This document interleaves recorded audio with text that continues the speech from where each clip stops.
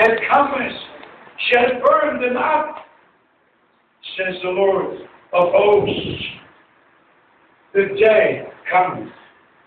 The day cometh that will burn like an oven. And then, in verse 5, Behold, I will send you Elijah, the prophet, before, before the great and terrible day of the Lord comes. You see the wisdom of God? First announcing what would happen when the day of the Lord would be, and then giving the promise before that day coming, before the earth goes up in flame, I will send you Elijah, the prophet, to turn, to turn the hearts, not the heads. not the heads. to turn the hearts. The hearts. For this, beloved, you must read 1 Kings 18, verse 37. There, when Elijah came, he restored the altar. He took the twelve stones according to the twelve tribes, and then he rebuilt the altar. He put the sacrifice, and he put water upon the sacrifice, and then he prayed. There were 455 priests, 400 Asherah priests, but the prophet of God was sure that he is there in the name of the Lord to do what God showed him, what God called him to do. And he would say, I've done this according to your word. And then God the answer the fire fell. And in verse 37 it says, And God turned their hearts. And God turned their hearts by the divine confirmation that this man is a man sent from God. He spoke in his name, he acted in his name, and God confirmed the word. What is Brother Branham's message? Back to the word, back to the teachings of the apostles, back to the foundation. And this is restoration. And beloved brothers, especially your ministering brethren, I have to emphasize this very strongly. Not restoration just in words, but restoration in reality. The New Testament church must be restored to where she was at the very beginning. Filled with the power of God, with all the ministries, with all the gifts, with all the fruits of the Holy Spirit. The restoration must be a reality. As we said before, justification was not only a teaching, it was experienced as a reality. Sanctification was not only a teaching, it was experienced as a reality. The baptism of the Holy Spirit is not only a teaching, it's an experience, it's a reality. And so, before the return of Christ, the New Testament church must come back to the same foundation laid by the apostles, Jesus Christ, the chief cornerstone. The first sermon and the last must be the same. The first baptism and the last must be the same. And with this, we go directly, quickly to Acts chapter 2, where the first sermon was being preached. And please be seated well to have this surprise, this surprise, that the Apostle Peter, in his first sermon on the day of Pentecost, under the inspiration of the Holy Spirit, refers to the prophet Joel chapter 2, verse 31. I'll read it to you first from Acts chapter 2, verse 20. The sun shall be turned into darkness, and the moon into blood, before the great notable day of the Lord would come. Let's go to Joel chapter 2, Joel chapter 2. Here, the Lord God spoke through the prophets in the Old Testament. Joel chapter 2, verse 32. The sun shall be turned into darkness, and the moon into blood, before the great and terrible day of the Lord will come. Are you surprised? About the leading of the Holy Spirit in the first sermon on the day of Pentecost, the Holy Spirit inspired the Apostle Peter to refer to the promise given to us. Elijah will come first before that great day comes. Before sun turns into darkness and the moon into blood, God promised to send a prophet like Elijah to turn our hearts back to God, back to the Word, back to the obedience. Imagine in the first sermon, hallelujah. Hallelujah. In the first sermon, the Apostle Peter said what I have to say in the last sermon. Hallelujah. Blessed be the name of the Lord. We understand by the grace of God how perfect the Word of God is. God knows the end from the beginning. Hallelujah. And even in the New Testament, our Lord confirmed the promise from the Old Testament. It says here in Matthew chapter 17, in Matthew chapter 17, you all know this mighty experience on the Mount of Transfiguration. But here, the disciples were asking in verse 10, in Matthew 17, verse 10, and his disciples asked him, saying, Why then the scribes that Elijah must first come? I'm glad for this question. I'm glad for the question.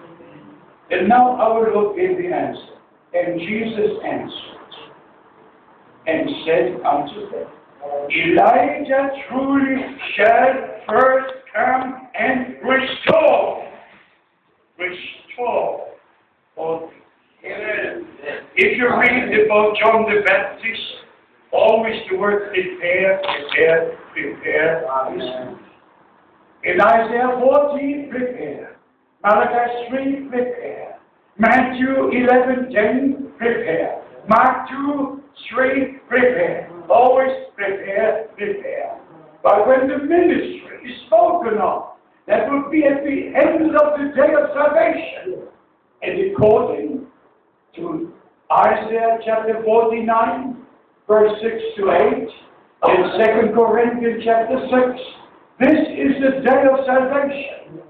So before the day of the Lord comes, at the end of the day of salvation, God will send a prophet to restore all things.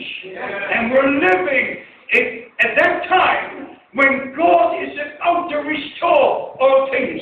We just must believe this promise and line up with the Lord and His Word. Now please listen to what the beginning of verse 11 says. And Jesus answered, Not anyone but Jesus. I tell you right now, beloved friends, if you have the answer from the lips of Jesus, you will never speak to a pope or pastor or bishop or any anyone. If you have the answer from the Word of God, from the lips of Jesus Christ. You don't know your denomination. You don't ask any preacher or big evangelist, what do you say about Malachi 4? You don't ask anyone. No. If Jesus has given you the answer, that's forever enough and enough. And if you don't believe the answer Jesus gave, you will never get the right answer again. So, please, do you understand what I say? Here the Bible says, and Jesus answered. And Jesus answered. Have you received his answer? What is his answer? Truly, Elijah shall first come and restore all things. So the ministry of Brother Branham was a ministry of restoration. Bring us back to the Word of God. And we had a restored apostolic prophetic ministry as no one ever had on the face of the earth. But now our time comes. Now our time is here that the restoration becomes a reality. Even in Mark chapter 9, our Lord confirmed the same promise from the Old Testament. Do you see how Old and New Testaments are in harmony together? Mark chapter 9, verse 12. And he answered and said to them, Elijah truly or verily cometh first and restoreth all things. All things. All things. So, John the Baptist came in the spirit and power of Elijah. But he was not the Elijah that was to come before the day of the Lord would be, before sun turns into darkness, two thousand years have come and gone, sun is not yet turned into darkness, but after this ministry, after this message is over, after the calling out has taken place, sun will turn into darkness. The moment in the sixth seal, you can read it in Revelation chapter 6 from verse 12 when sun turns into darkness. If you hear what Brother Branham said and what was revealed to him about the seven seals, it just, it's amazing. It's just wonderful.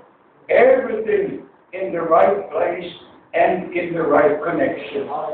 So, let me say this in summarizing what we are trying to show you today. I know you are acquainted with the message of the hour. But I say this again with a broken heart. Many are not in the message, many are in the message. and there is a big difference between message and message. I don't believe a single interpretation. And if it's not written in the Word of God, I don't accept it. I don't believe it. Everything Brother Branham was revealed, and yes, shown to us in the seven seals especially. Nothing did God forget. Everything is perfect. Nothing can be added and nothing can be taken away. So, the brethren dare to add their own revelations about seven thunders, about seven seas, about the return ministry, about, about the many, many, many, many things. Please don't join them. Please don't support them. Don't support a brother who brings wrong teachings. You're guilty. You're guilty with that brother if you support somebody who does not stand upon the Word of God in the true teachings of the Holy Scripture. I know what I'm saying, but I just have to say it. As we read in Galatians chapter 1, verse 10, I am not here to please men, never. I'm here to please God. And just to say what God said in His Word. So, everything we need to know, God has revealed unto us. All we must do is obey, line up with the Word of God, be obedient, do what the Lord and the Word command us to do, and accept the fact that the message given to Brother Branham, the message of restoration, is entrusted to us at this time.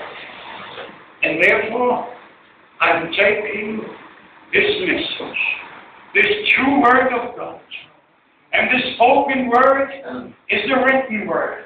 And the written word is a revealed word by the Holy Spirit. But I say again, don't dare to add anything. Just leave it where it is and how it is. And as I said before, don't take statements Brother Branham made out of context. I'll give you one example. Brother Branham was preaching in Phoenix. And then towards the end, he made the statement, I will return. And on this one statement, they made a return ministry. That Brother Branham will return and complete his ministry in intent. First, where is the promise for that? Where is the promise for that? In the Word of God. If there's no promise, there's no fulfillment. And I don't want anybody to add. No, there's no person on earth with the authority to add something to the Word of God. In fact, the curse is upon each and every one who is adding to the Word of God. So as I said before, in the name of the Lord, God revealed everything that we need to know. And there's no one else who esteems Brother Branham's ministry as I do. And I tell you, on August the 15th, 1955, which was also Monday morning, before I met Brother Branham in the hotel lobby, before we shook hands, he stopped, he looked at me. He said, You are a minister of the gospel. And then we shook hands, and then we spoke together. So I'm not just telling you something, I'm telling you the experiences I had with the Lord and the experiences I had with Brother Branham. And I received him and the ministry given to him as an extraordinary ministry the Son of Man had when he walked on this earth. And by the way, on May the 7th, 1946, at about 23 p.m., in your time 11 p.m., when the angel of the Lord came into the room, Brother Branham was seated having the Bible on his lap, and he jumped up. And the angel said, I'm sent from the presence of Almighty God to tell you about your commission. And the angel said, As Moses was given two signs, two signs are given unto you. And explaining the divine ministry of the Son of Man, that he would know even the secrets of the hearts, like our Lord in his ministry, explaining, explaining what and how the ministry would be. And the ministry happens throughout all these years. And I'm a witness of that ministry. But brothers, in closing, let me say again, it's not enough to go and say the prophet said the prophets. It's not enough to just use quotes. Take the quotes back into the word. Make the message the word and the word message. Even about the return of Christ. Some believe the Lord has already come. I always give the same answer. As long as I'm here, he has not yet come. Because when he comes, I go. Yeah, when he comes, I go. So if somebody says, the Lord has already come, I said, that's impossible because when he returns, our mortal bodies shall be changed into immortality. And we shall be in his image. Here is the great secret. The Lord of glory came into a body of flesh because we had sinned. The original sin in the Garden of Eden happened in the body of flesh and blood. And therefore our Lord had to come into a body of flesh and blood to shed his blood, to give his life. And according to Leviticus 17, verse 11 and 14, the life is in the blood. So the life of God was in the blood of the Son of God. And that's why the Bible says, he that has the Son of God has eternal life. First John chapter 5, verse 11 and 12. So beloved, if we are purchased by the blood of the Son of God, by the blood of the Lamb. The same life that was in the blood is in us, the same eternal life we are poured again by the Holy Spirit. And there are three that give testimony and witness. The blood, Spirit, and the Word. And these three things always go together. So may the God of heaven be with you. May you be prepared to meet the Lord. I believe, I must finish, I know, but I believe the return of Christ is absolutely imminent. It just, it just, it just can happen at any moment. And three times our Lord said, when you see all these things come to pass, then you know it's at the door. It's very near. Look out, for your redemption is drawing near. What do we have? All the earthquakes, all the tsunamis, all the catastrophes which come upon the face of the earth, and they multiply, multiply, multiply. I was on Sumatra in Medan in March 2005 when the earthquake shook the whole hotel. And, and I was in Haiti right after the earthquake. I've seen the outcomes of the earthquake with my own eyes. Beloved friends, I say again, we're very, very near to the second coming of Christ. And therefore, Matthew 25, Behold, the bridegroom comes. Go ye out. Go ye out. This is the time of going out. Come out from among them, says the Lord, and I will receive you, and you shall be my sons and my daughters, and I will be your God. Second Corinthians chapter 6 from verse 14. And also Revelation chapter 18. Come out from among them, that you partake not of the judgments. So this is the calling out time. This is the separation time. This is the preparation time. This is restoration time. Yes. God says, I will restore unto you all the years. I will, Joel chapter 2, I will restore unto you. And he said, I send you Elijah the prophet Amen. to restore report things. God always uses command. And William Branham was a man sent from God, a promised prophet in our time confirmed by God Almighty, as no one was ever confirmed by the Lord in such a ministry and for so many years.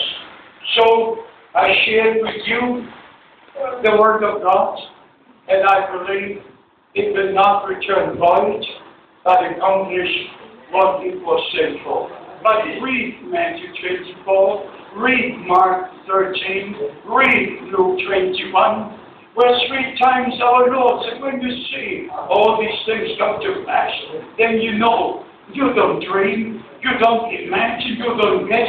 You know, you know the time is near, the time is at hand.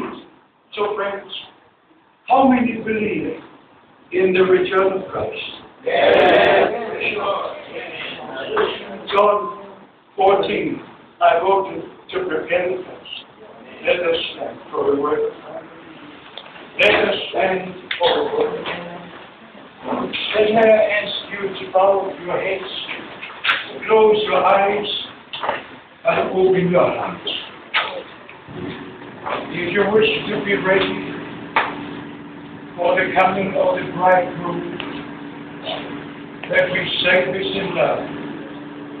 Only those who are part of the bride of Christ will hear the call of the bridegroom. Like in the mansion, if there is a marriage announced, all the ladies continue as usual, but the bride who has the promise, the bride begins. So the Bible says in Revelation 19, Verse 7 And his bride has prepared her same. And the Holy Scripture says in Matthew 25, verse 10, and they that were ready went into the marriage, and the door was closed. Please don't miss the day of God's visitation. Hear the word of God, receive the final message, be restored, may your heart be turned back to God, back to His word, away from all favors, from all interpretations, back to God and back to His word. Who wishes to be you. We should go, God bless. God sure. Let us now pray together. Our Heavenly Father, I commit the words spoken here today into your hands and care, and I pray for all who receive your words, that they might not return void and accomplish what they were sent for in every heart. May everyone believe, believe as Abraham believed. The promise, the promise. We believe the promise of Malachi 4.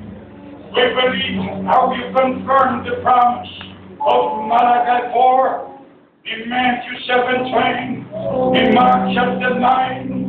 We are witnesses of that promise to be fulfilled. Dear Lord, together we ask, help us to be prepared to come out, to be ready, and to be restored. I pray for the local assemblies, for the pastors, for all who share the word of God, that they might be encouraged. Be with them that they might preach the word with divine revelation and inspiration and conviction by the Holy Spirit. Dear Lord, I thank you for Acts chapter 2, where your servant, the Apostle Peter, referred to the day of the Lord. And now we refer to it again. And as he commanded that all should be baptized in the name of Jesus Christ. So we command that all who believe are baptized in the name of the Lord Jesus Christ to confirm the remission of your sins by the blood of the Lamb. Receive the word of God. Receive salvation. Receive healing. Receive deliverance. Receive restoration. Receive all the blessings Almighty God. In Jesus' holy name. Hallelujah.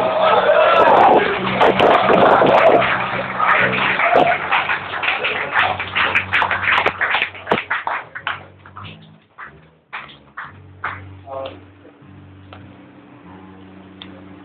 uh,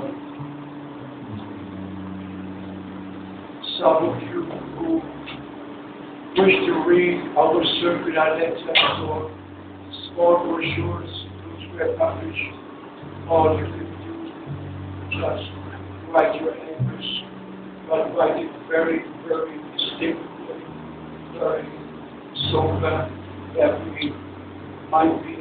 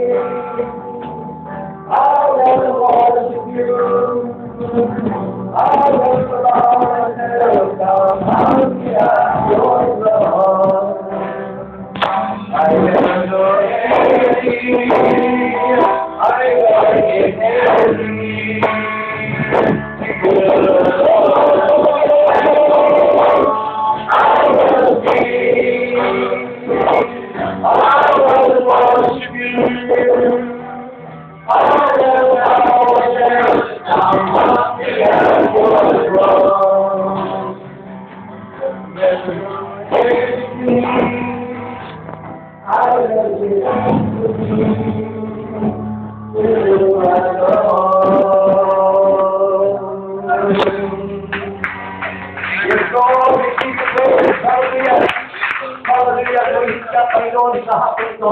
Salamat po sa mensahe, Panginoon, na binigay mo sa amin. Sa pamalitan po na yung lingkod, sa Hall, Panginoon. Isang mensahe na papanahon, isang mensahe na dapat tanggapin at malaman ng lahat ng mga tao na naghihintay sa iyong muling pagbabalik. Panginoon, salamat po sa pagkakami bahagi ng yunukyan na iyong pabalikan, Panginoon.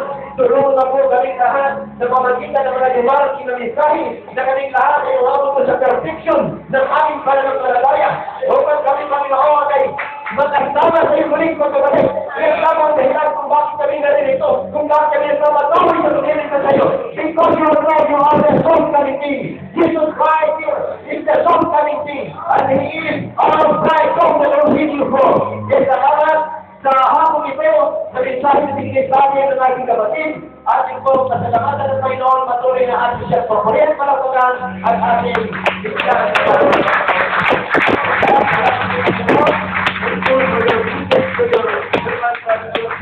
Uh, Lord, uh, continue, to- continue to bless him, Father.